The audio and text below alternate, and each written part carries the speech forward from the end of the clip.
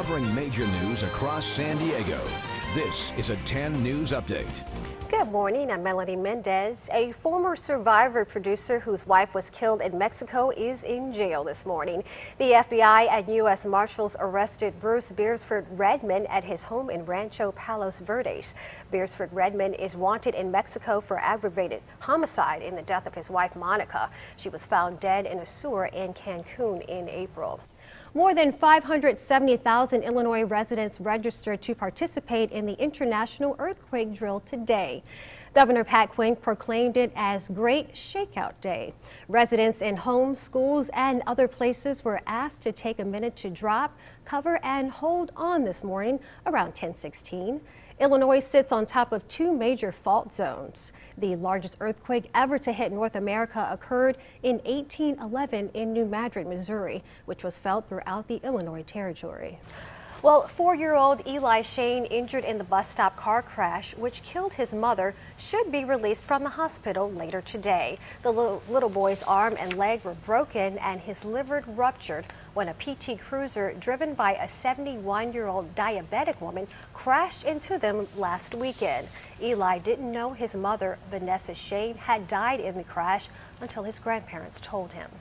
Clearly, to my understanding, it had Nissan written across the back of it, right? Yes, that is correct, Nancy. It, it, had an emblem of Nissan imprinted on the back. Now, police are telling us today that they believe, because of numerous reports from the media, because of this vehicle, that the person driving the vehicle has possibly altered it in some way. Of course, we said it was a white vehicle. It had uh, uh, dings and dents on the back of it on the rear passenger side, some rust, kind of bad condition Association Melanie, how is the evidence developed today?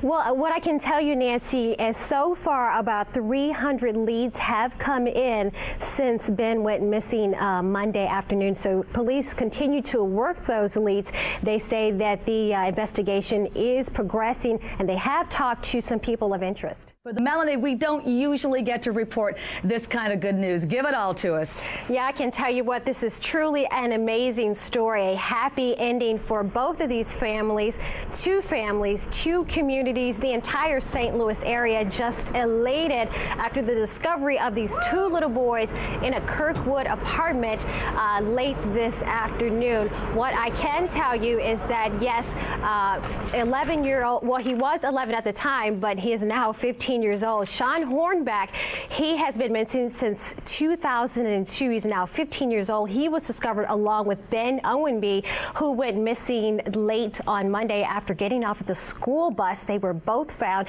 inside the apartment of a 41-year-old man who is a convicted sex offender.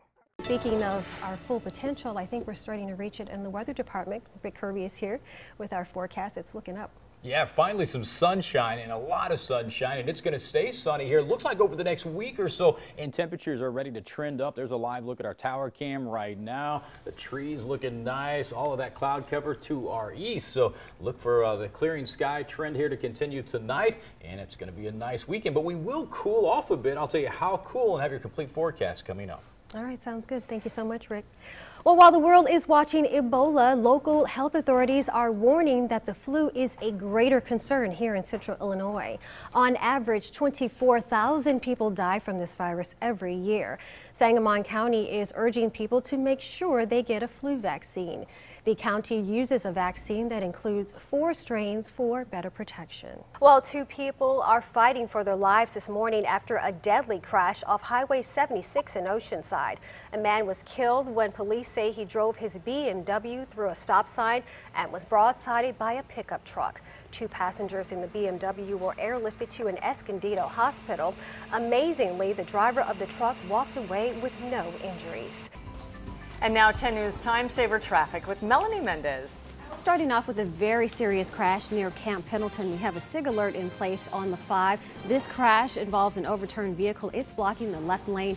One person was killed in that crash. It happened an hour ago. Elsewhere, we have a wreck southbound 5 at Leucadia. It's causing a lot of slowing, but it's on the right side of the road. And a third crash in El Cajon eastbound 8 at 2nd Street. No injuries being reported. I'm Melanie Mendez with your Time Saver Traffic. This morning, a City Heights neighborhood is trying to recover from a SWAT standoff. Police blocked off the neighborhood for hours yesterday after witnesses tracked two gunmen from a double shooting in a nearby park.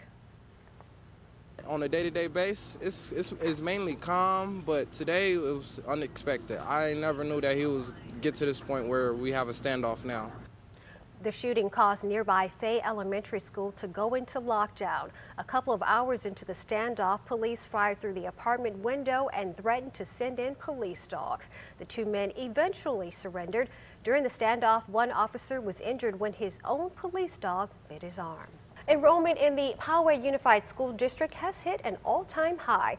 The number of students at the district's campuses has topped 34,000 for the first time.